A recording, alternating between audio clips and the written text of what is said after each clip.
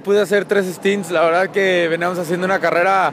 muy conservadora y, bueno, la verdad al final eh, todo termina de, muy mala manera, no es como nos hubiera gustado terminar el fin de semana, pero la verdad que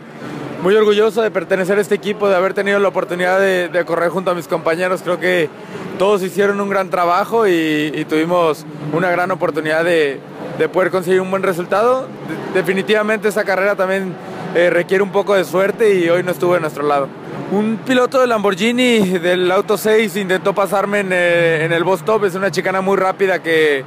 que solo cabe un coche, yo venía con llantas frías, yo no tenía nada que pelear, en ese momento estaba eh, empezando mi, mi, tercer stint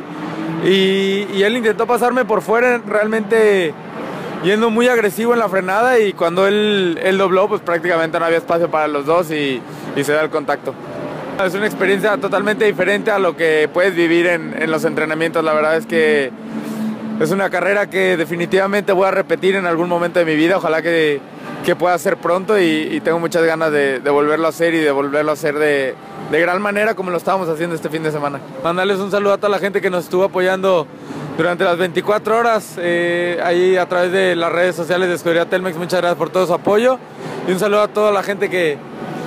que nos estuvo mandando buena vibra después de, del lamentable incidente.